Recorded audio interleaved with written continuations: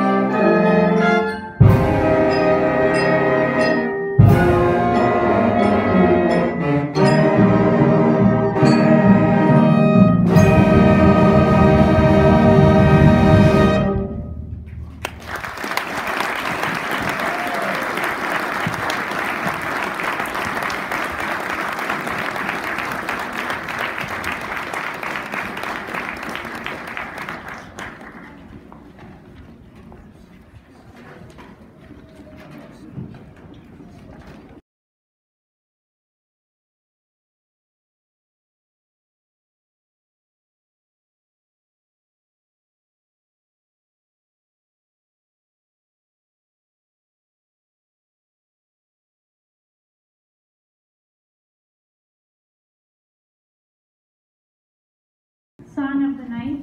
Um, I would like to shout out to uh, Becky Bussey for helping us out with the accompaniment. Eric doing my sound and lights back there.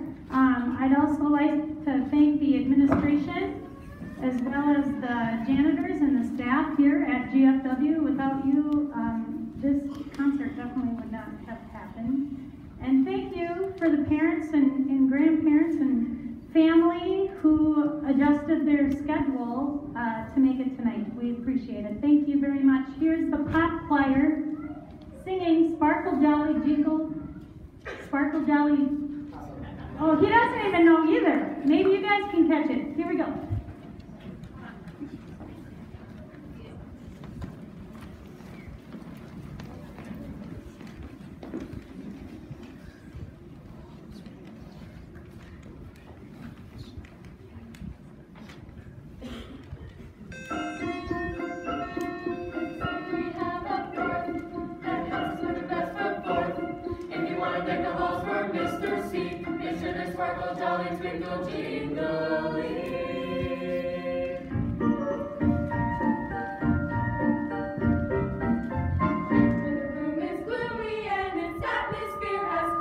Quits. You must remember that December is the time for glitz.